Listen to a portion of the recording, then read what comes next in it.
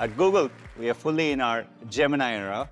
Today, all of our 2 billion user products use Gemini. Gemini 1.5 Pro is available today in Workspace Labs. Let's see how this comes to life with Google Workspace. People are always searching their emails in Gmail. We are working to make it much more powerful with Gemini. Now we can ask Gemini to summarize all recent emails from the school. Maybe you were traveling this week and you couldn't make the PTA meeting. The recording of the meeting is an hour long. If it's from Google Meet, you can ask Gemini to give you the highlights. People love using photos to search across their life. With Gemini, you're making that a whole lot easier. And Ask Photos can also help you search your memories in a deeper way. For example, you might be reminiscing about your daughter Lucia's early milestones. You can ask Photos, show me how Lucia's swimming has progressed. Here, Gemini goes beyond a simple search, recognizing different contexts, and Photos packages it up all together in a summary. Unlocking knowledge across formats is why we built Gemini to be multimodal from the ground up. It's one model with all the modalities built in. We've been rolling out Gemini 1.5 Pro with long context in preview over the last few months. So today, we are expanding the context window to 2 million tokens. So far, we have talked about two technical advances, multimodality and long context. Each is powerful on its own, but together, they unlock deeper capabilities and more intelligence. But what if we could go even further? That's one of the opportunities we see with AI agents. I think about them as intelligent systems that show reasoning, planning, and memory, are able to think multiple steps ahead, work across software and systems, all to get something done on your behalf, and most importantly, under your supervision. Today, we have some exciting new progress to share about the future of AI assistants that we're calling Project Astra. For a long time, we've wanted to build a universal AI agent that can be truly helpful in everyday life. Here's a video of our prototype, which we'll see has two parts. Each part was captured in a single take in real time. What does that part of the code do? This code defines encryption and decryption functions.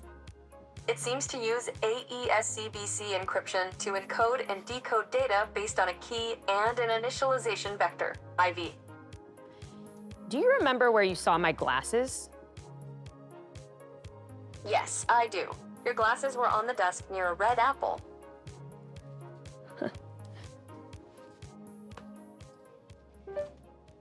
uh, give me a band name for this duo. Golden Stripes. nice. Thanks, Gemini. Today, we're introducing Gemini 1.5 Flash. Flash is a lighter weight model compared to Pro. It's designed to be fast and cost efficient to serve at scale, while still featuring multimodal reasoning capabilities and breakthrough long context. There's one more area I'm really excited to share with you. Our teams have made some incredible progress in generative video. Today, I'm excited to announce our newest, most capable generative video model called Veo. Veo creates high-quality 1080p videos from text, image, and video prompts. It can capture the details of your instructions in different visual and cinematic styles. For 25 years, we have invested in world-class technical infrastructure. Today, we are excited to announce the sixth generation of TPUs called Trillium. Trillium delivers a 4.7x improvement in compute performance per chip over the previous generation. Google Search is generative AI at the scale of human curiosity, and it's our most exciting chapter of search yet. All the advancements you'll see today are made possible by a new Gemini model, customized for Google Search. What really sets this apart is our three unique strengths. This is search in the Gemini era. By the end of the year, AI overviews will come to over a billion people. We're making AI overviews even more helpful for your most complex questions. The type that are really more like 10 questions in one. You can ask your entire question with all its sub-questions and get an AI overview in seconds. I'm really excited to share that soon you'll be able to ask questions with video. Why will this not stay in place? And in a near instant, Google gives me an AI overview. I guess some reasons this might be happening and steps I can take to troubleshoot. Since last May, we've been hard at work making Gemini for Workspace even more helpful for businesses and consumers across the world. Now, I can simply type out my question right here in the mobile card and say something like, compare my roof repair bids by price and availability. This new Q&A feature makes it so easy to get quick answers on anything in my inbox. Today, we'll show you how Gemini is delivering our most intelligent AI experience. We're rolling out a new feature that lets you customize it for your own needs and create personal experts on any topic you want. We're calling these gems. They're really simple to set up. Just tap to create a gem, write your instructions once, and come back whenever you need it. Starting today, Gemini Advanced subscribers get access to Gemini 1.5 Pro with 1 million tokens. That is the longest context window of any chatbot in the world. You can upload a PDF up to 1,500 pages long or multiple files to get insights across a project. Now, we all know that chatbots can give you ideas for your next vacation, but there's a lot more that goes into planning a great trip.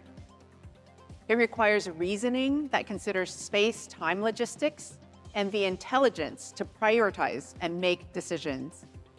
That reasoning and intelligence all come together in the new trip planning experience in Gemini Advanced.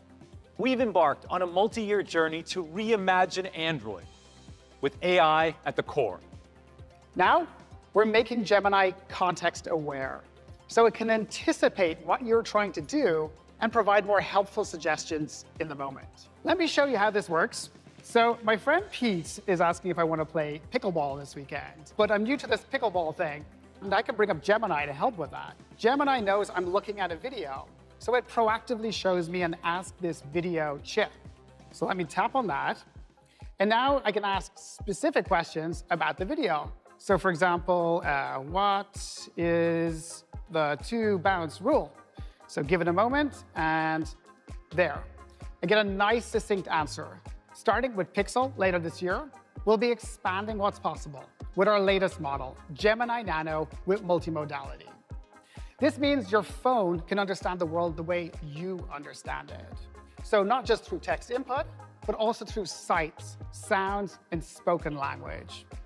Now let's shift gears and talk about Gemma, our family of open models, which are crucial for driving AI innovation and responsibility. Today's newest member, PaliGemma, our first vision language open model, and it's available right now. I'm also excited to announce that we have Gemma 2 coming. It's the next generation of Gemma, and it will be available in June. So in a few weeks, we'll be adding a new 27 billion parameter model to Gemma 2. To us, building AI responsibly means both addressing the risks and maximizing the benefits for people and society.